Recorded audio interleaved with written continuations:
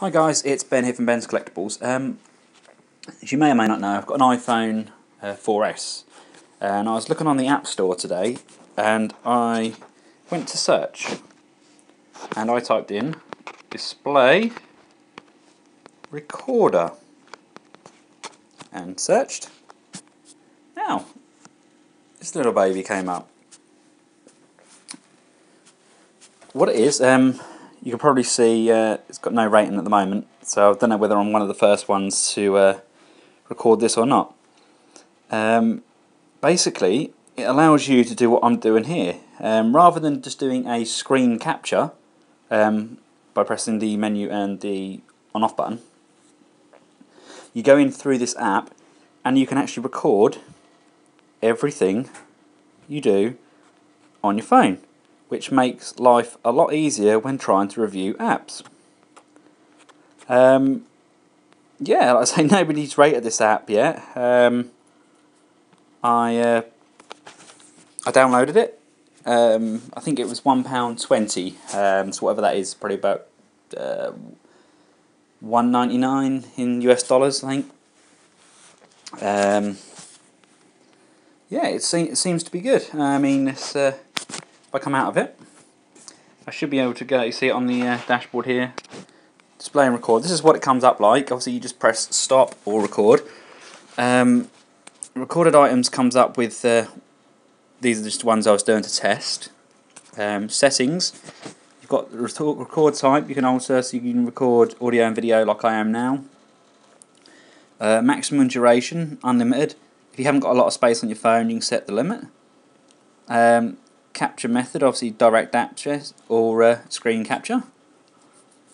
Uh, I've got the quality set to high, um, which I believe is 720, I think, not 1080 on this. Uh, video size is full size. Um, orientation, auto, you can change that to landscape. So I'm assuming that if I go like this, and like this, uh, there, it should uh, should change on the video as well. Obviously, I'm not going to edit this video at all. I'm just going to upload it straight to uh, YouTube by uh, doing it all on here. Um, what else have we got? We've got sample rates for audio. You can sort by, and if you need any help, they've got a fairly good help section on here. Basically, the how-tos. You can search through it all. There's a fair bit on there. Um, so yeah, um, once you have recorded your item. You access it by pressing the recorded items. You say you select the item and then with the arrow at the top, I don't know if it's going to let me record all of this at the same time. Yeah, okay. Come up here, upload to YouTube, um, which then allows you to go into another menu where you can sign in. I won't do that, so you, so you'll see my uh, sign in details. But you can also go to export photo library or open in other apps. Now, this will not open in iMovie until you've exported it to your photo library. Um, it's actually your camera roll, but they've labelled it on here as photo library. Export to, then go into your iMovie if you want to do any, any editing at all and open it up through there. If not, um, just upload direct to YouTube. Um, like I say, this is a very easy to use app.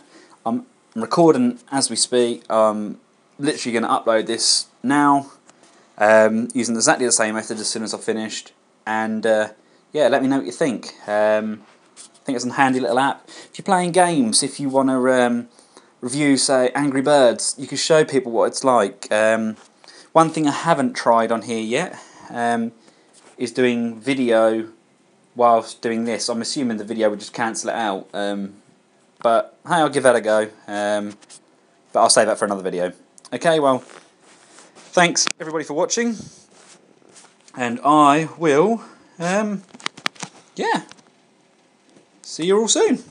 Uh, if you like what you see, please uh, leave comments, um, subscribe, and uh, thanks. Cheerio.